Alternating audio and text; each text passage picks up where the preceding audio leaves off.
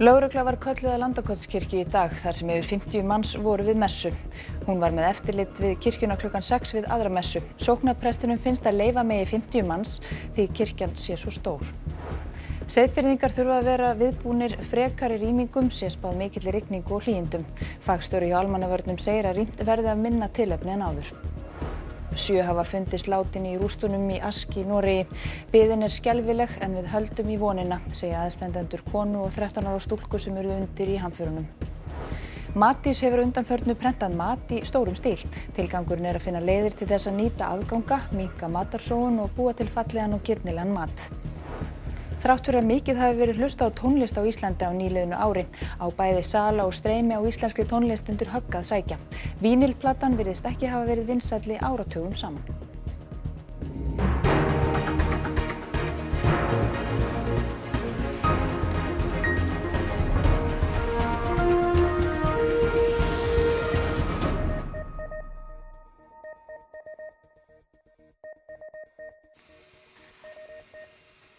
Komiði sæl. Laurugla rannsakar meint brota á samkomutakmörkunum við Landakotskirkju í dag þar sem margir týjir kirkjugjasta voru við messu. Sóknapresturinn segir ekki komið til greina að loka kirkjunni þegar tíumanna hámarkinu er náð. Laurugla var kölluð að Landakotskirkju þegar messa á pólsku var hafinn klukkan eitt. Þá höfðu þegar farið fram tvær messur í kirkjunni og þrjár voru á dagskrá síðdeis. Þetta er í annarsinn á skömmum tíma sem fregnir berast af meintum brotum á sótarnareglum í kirkjunni. Á aðfangadagskvöld munu hafa verið þar um 50 manns. Í reglugerðum samkómutakmarkanir er bannað að halda samkómur með fleiri en 10 manns og á það við um hvers konar kirkjuatafnir að undanskildum jarðarförum þar sem mega vera 50. Og það var ekki jarðarför klukkan eitt í dag í Landakotskirkju. Við lauslega talningu fréttastofunar og upptökunum má sjá að minnstakosti 70 manns eldri en 15 ára. Davíð Tenser, biskup katholsku kirkjunar, segir í tilkynning á VF kirkjunar að allt kirkjustarfið munað sjálfsögðu fara fram í samræmi við allar sótvarnareglur. Ekki er vitað hvort hann var viðstættur pólsku messuna í dag en hann er frá Slovakíu. Lauraglumadur taldi gestina inn í kirkjunni og hann taldi líka þá sem komu út um aðaldirnar og sagði að þeir hafi verið 51. En hann sagði líka að nokkri hafi verið eftir inni og svo hafi kirkjugestir líka farið út um hliðardir. Hann rætti síðan með Patrik Brenn, sóknarprest í Landakosskirkju eftir messu. Ég sjálfur var ekki í messunni en lögreglumæður sagði mér hann taldi 51, 51 mann um, í kirkjunni. Hann sagði 10 reglan en mér finnst sjálfur ef við erum að verða tvekja mitra regla Já. Og fólk er með grímur það er alltaf meira jafnvel upp í 50 af því kirkjunni okkur er svo stór. Finnst þið koma til greina að uh, við næstu messur að þið tellið inn tíu kirkjugesti og, og loki svo? Eh, tíu nei, held við eh, annarkort, við lokum kirkjuna við erum ekki að banna fólk að koma í kirkju við munum ekki hafa messu og bara tellja tíu inn, nei, mér finnst það kemur ekki til greina.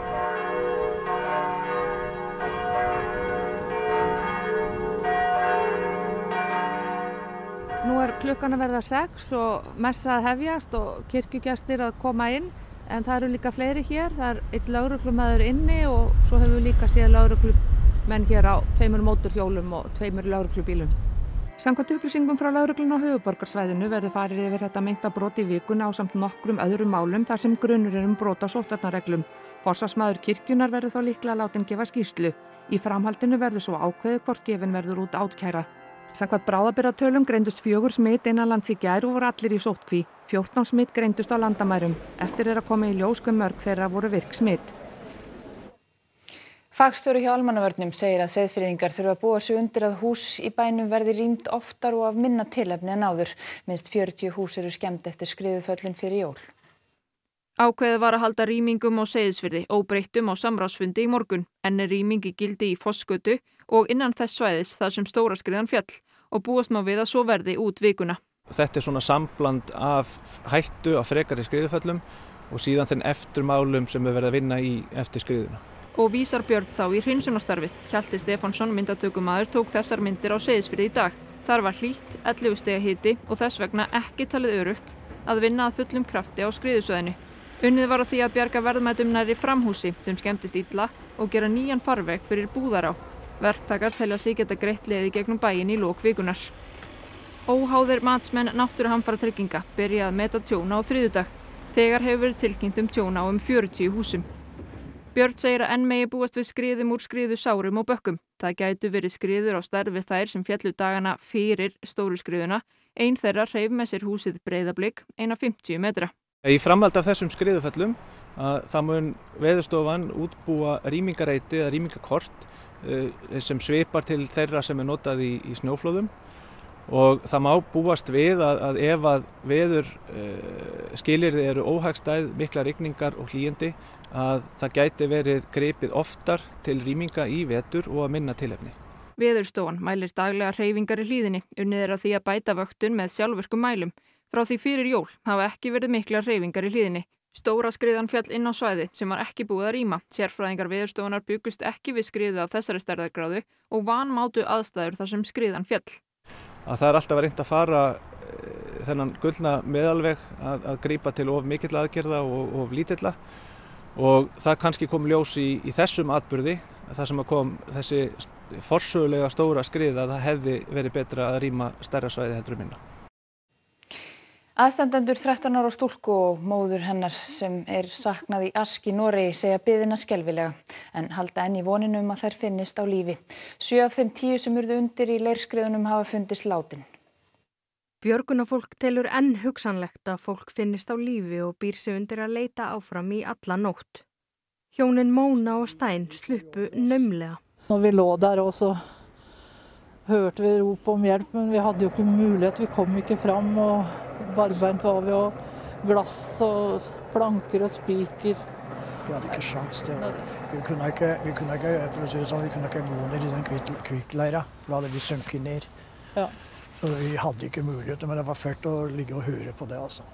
Ekki hefur verið upplýst um nöfn þeirra látnu aldur eða kyn utan eins 31 árs manns sem fannst á nýjástag.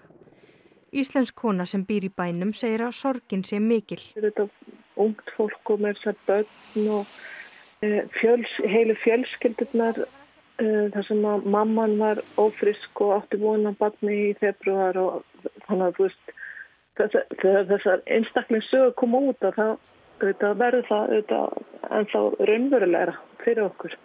Þannig að fólk eru auðvitað í, í áfalli. Þungaða konan sem Greta nefnir er hinn 31 árs Charlotte Grimmer Jansen sem týndist á samt eiginmanni sínum og tveggja ára dóttur. Eitt annað barn varð undir í skriðunum, hinn 13 ára Victoria Emilie. Móður hennar Ann-Marie er einni saknað. Norska ríkisjóarpið rætti við móður hennar og systur sem geta lítið annað gert en býða og vona. Ja, jeg prøver ikke å tenke. Venter, venter på svar fra, fra, fra politiet. Da. Jævlig å sitte og vente. Rett og slett jævlig.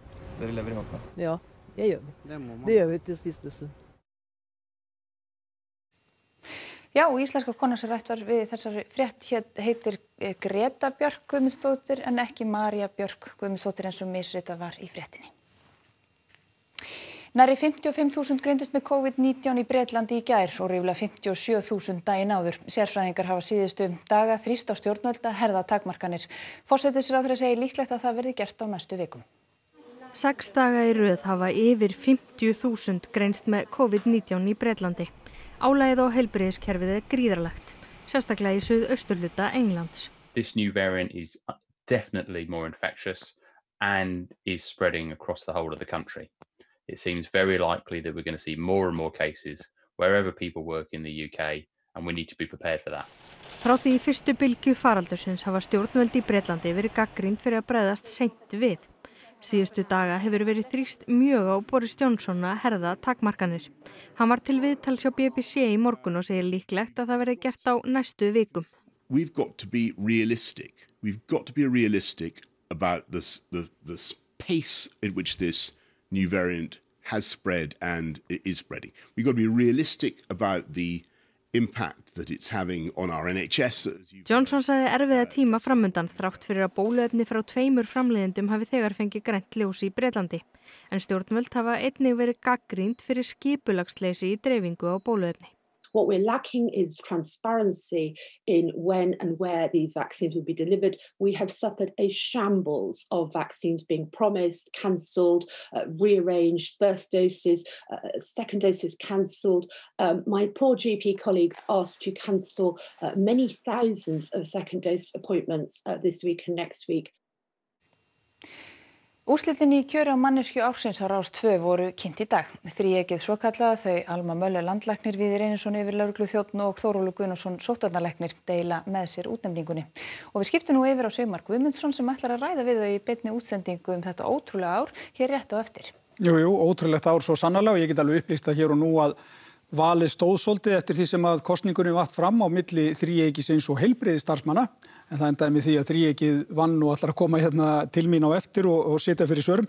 Þórólur, þetta er auðvitað búið að vera ótrúlegt ár en til dæmis svona viðurkenning þar sem almenningur er að velja, skiptir það einhver máli að, að, að finna fyrir þessu? Jú, svo sannarlega þetta er mjög bara mikil viðurkenning og ég tek þetta sem viðurkenningu fyrir bara all, alla þá sem að hafa unnið í þessum málum allt síðasti ár og það er náttúrulega öll þjóðin, það er, það er við, það er starfsfólk embættisins, uh, almannavarna, uh, hérna, stjórnkerfið, allt saman og svo náttúrulega heilbreiði starfsmenn og, og almenningur. Mm. Þannig að við höfum öll tekið þátt í þessu og ég held að þetta sé bara viðurkenning fyrir uh, það góða starf sem allir þessar aðilar hafa unnið. Þetta er búið að vera ótrúlegt ár fyrir ykkur persónulega þetta? Jú, þetta er búið að vera eiginlega ótrúlegt ár en þetta er náttúrulega, uh, ég er búin að vera undirbúið með undir þetta svona ár mm. lengi, að vísu bjóstu ég ekki við þetta er svona langt. Nei. En e, þegar að því kom þá virkilega reyndi á það sem að við erum búin að vera undirbúið okkur fyrir og ég held að það hefur bara tekist þokkarlega, myndi ég segja. Já, já, við ætlum að sjálfsögðu að færa ykkur blómönd. Þið eru manneski ársins eða manneskjur ársins, Þórólu, gjör það svo vel. Já, takk fyrir það kærlega. Og hérna við ætlum að, að spjalla betur við þig Þórólur, Ölmu og Víði hér að loknum frettónum eftir hálftíma eða þarum bil. Takk fyrir það, Sigmar. Útlit er fyrir að skólahaldi framhaldsskólum verði með eðlæra móti í byrjun þessar annar en verið hefur. Formaður skólameistrafélags Íslands segir að staðnám aukist en að farið verði varlega af stað. Framkvæmdastjóri sambands íslenskra framhaldsskólanema fagnar því að ungmenni fái að mæta í skólan. Reglugerð sem tók gildi á nýjárstag og gildir út februar eins og staðin er núna hveður á um 30 manna hámark nefnda og starfsmanna í hverju rými og grímuskyldu þar sem ekki runda verða tvekja metra regluna. Þá veru blöndun nefnda millir hópa heimil í kjenslu. Útlýtt er því fyrir að skólahaldi framhalskólum verði hefbundara en verið hefur. Flestir skólar býða svona í 1-2 dagur að sjá svolítið til hvað gerist. Við tökum náttúrulega öryggi okkar nefnda og starfsfólk mjög alvarlega en vonandi getum við auki staðkjenslu verulega og vissulega gefur reglíkjörun okkur möguleika á að vera nánast með fullt staðnám ef, ef ástandi í þjófnarinn höfður okkur að þráast með sama hætti og það hefur verið síðustu daga. Eins og COVID-staðan er á Íslandi akkurat í dag, þá sannlega myndum við vonum við það að framhaldsskólaneymar geti bara upp til hópa mætt í skólan, núna í upphafi annar og, og vonandi sem allar lengst. Það held ég að sé allir sammálum. Kristinn segir að það sé nánast bara tekin einn dagur í einu og Hildur segir litakóðakerfi sem tekið hefur upp auðvelda nefnendum að átta sig á stöðunni og breytingum. Á sögn Kristins verður munur á milli bekkjaskóla og áfangaskóla mun minni en verið hefur þar sem heimilt sé að blanda nefnendum í kenslu. En þrátt fyrir rýmri reglur er ekki víst að allir nefnendur treysti sér í skólan við þessar aðstæður.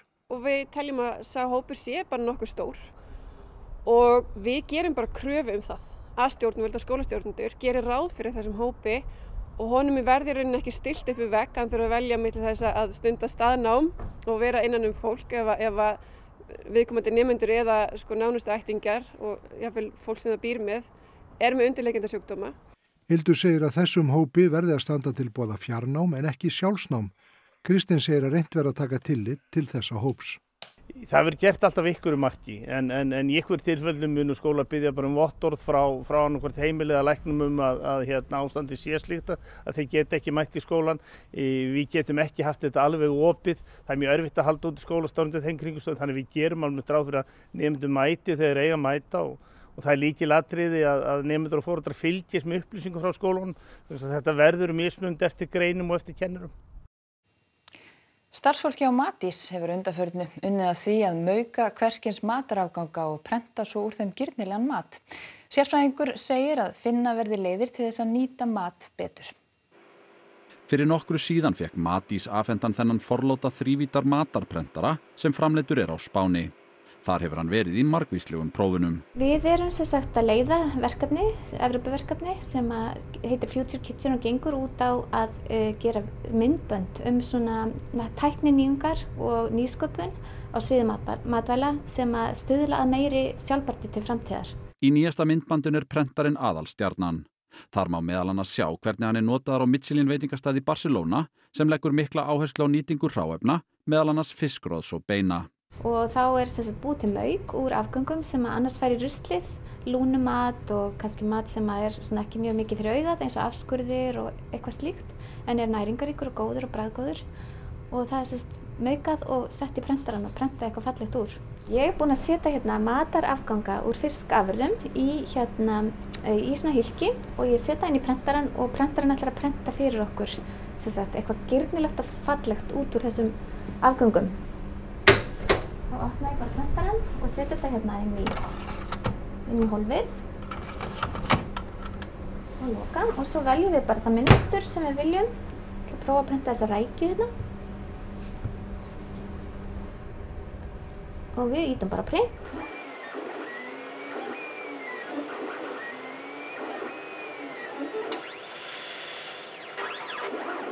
Jæja, nú er þetta tilbúið og við tökum þetta út. Og hérna er þetta. Og maður bjóðar að smakka. Já, endilega.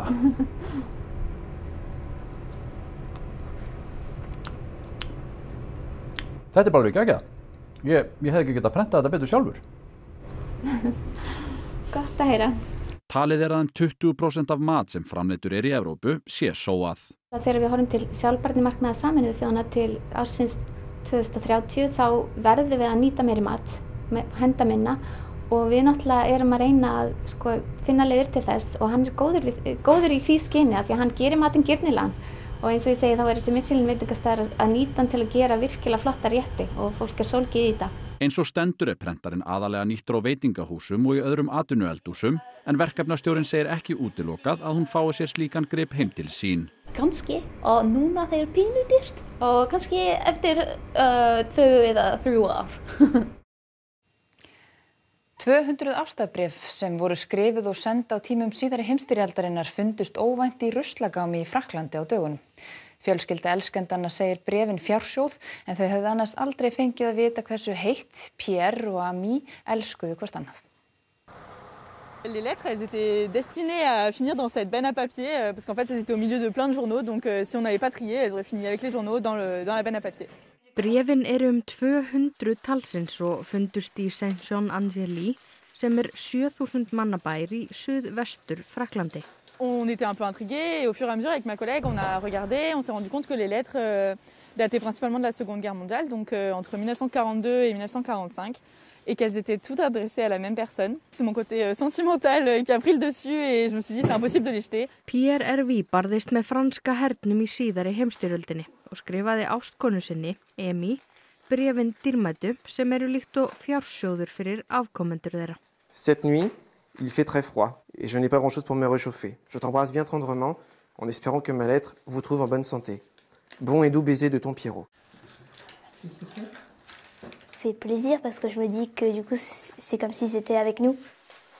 Que mon père soit aussi poète. poète, voilà, ça me surprend un petit peu, c'est vrai. Jamais je me serais imaginé, si j'avais pas vu ça, qu'il pouvait y avoir tant de, tant de petites choses, qu'il pouvait y avoir tant d'amour entre mes parents. Tekjur af íslenski tónlist sem streymt var á Spotify á nýliðinu ári nema hátt í 250 miljónum króna. Þá seldust fjölmarkar vínirplötur á árinu en minni hluti þeirra var íslenskur. Á nýliðnu ári varði fólk meiri tíma heima hjá sér en venjulega. Það byrtist meðal annars í því að Íslendingar virðast hafa hlustað á tónlist sem aldrei fyrr. Félag hljómblötu framleiðenda hefur tekið saman nokkrar tölur fyrir fréttastofu. Spotify er langvinsalasta streymisveita á Íslandi. Á árinu töldust streymi þar 1,2 miljardar hér á landi en öll streymi sem eru umfram 30 sekundur telja. Rúmlega 18% þeirra streyma er íslensk tónlist. Meðal notandinn hlusta á tónlist í 300 klukkutíma á árinu eða rúmlega 13 sólarhinga. Rúmlega 100.000 manns greiða áskrifta tónlistaveitum hér á landi og samkvæmt upplýsingum frá félagi hljómplötuframleiðenda er um 98% þeirra hjá Spotify. Eitt streymi á lægi á Spotify skilar um það bil einni krónu í vasa útgefenda, flytjanda og höfundar viðkomandi lags. Félag hljómplötu framleiðenda tilur að streymi á íslenski tónlist á Spotify skili 230 til 250 miljónum fyrir árið 2020. Velta af sölu og streymi tónlistar á Íslandi hefur ekki verið hærra í að minnstakosti tíu ár. Félag hljómblötu framleiðenda segir að þrátt fyrir það séu tekjur íslenskra tónlistamanna af sölu mun lægri en á tímum geisladissins þegar 80% seldra diska voru íslenskir. Á meðal þeirra íslensku tónlistamanna sem mest var hlustað á á árinu má nefna Bríeti, Bubba, Jóa Pjó Króla, Auði, Áskir Trausta, Ingo Veðurguð, Hafdísi Huld, Herran Hnetusmjör og GTRN.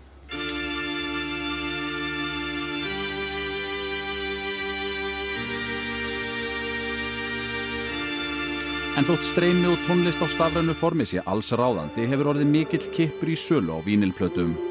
Plötubúðin.is var opnuð í februar og þar gekk vel að selja plötur á árinu.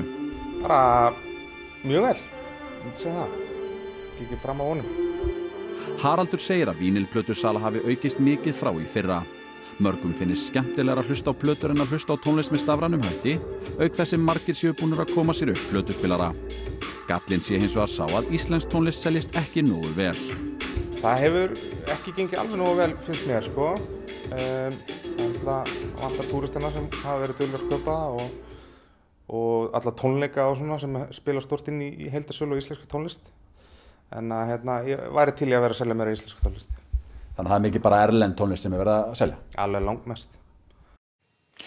Og þá að veðri, það gengur í sunnan storm á Norðurlandi í kvöld með mjög snörpum vindkviðum. Í nótt dregur hratt úr vindi. Suðvestan 10 til 18 á morgun með kólnandi veðri og stöku skúrum eða jæljum vestanlands en annars þurft. Birta Líf Kristinsdóttir veðurfræðingur fyrir nánari við veðurhorfurnar hér á eftir íþróttafréttum en það er Þorkjell Gunnar Sigurbjörnsson sem sér um þær í kvöld. Guðmundur Guðmundsson landslistjálfara í handbólta segir mikil vonbröðu að Aron Pálmarsson get ekki verið með á HM í Egiptalandi sem hefst eftir nokkra daga. Bjarki Már Elísson telur ólíklegt að hann hefði fengið koronaviruna þrátt fyrir jákvægt síni í lok oktober. Manchester City átti góðan leik á móti Chelsea í dag. Þetta á fleira í Íþróttum hér eftir fréttir. Og aðru hverjum ykkur er rétt að renna yfir það sem var helst í þessum fréttatíma. Láregla var kölluð að Landakotskirkju í dag þar sem yfir 50 manns voru við messu. Hún var með eftirlit við kirkjuna klukkan 6 við aðra messu. Sóknarprestinum finnst að leifa megi 50 manns því kirkjan sé svo stór.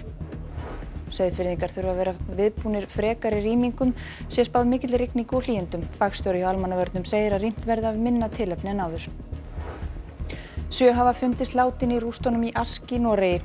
Biðin er skelvileg en við höldum í vonina, segja aðstandendur konu og 13 ára stúlku sem urðu undir í hamförunum.